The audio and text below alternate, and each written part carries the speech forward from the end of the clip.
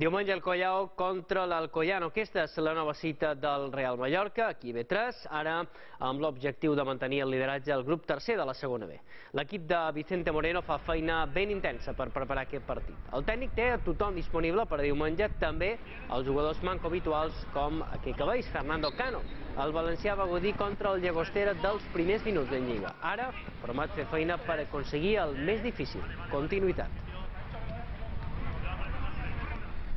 Que ya tenía ganas, ¿no? Tenía muchas ganas de, de poder jugar y de, de, poder aportar mi granito de arena al equipo.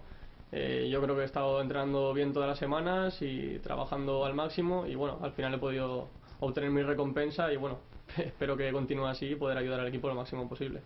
Es un equipo que año tras año ha peleado por estar en la zona de arriba y bueno, es un equipo complicado, es un campo muy difícil también, eh, es verdad que hierba natural y eso a nosotros nos beneficia. Llevamos seis jornadas, esto acaba de empezar, eh, pocos puntos, ¿no? Pero, pero hombre, nos gusta vernos arriba, evidentemente, y ¿por qué no? Ojalá siga así toda la temporada.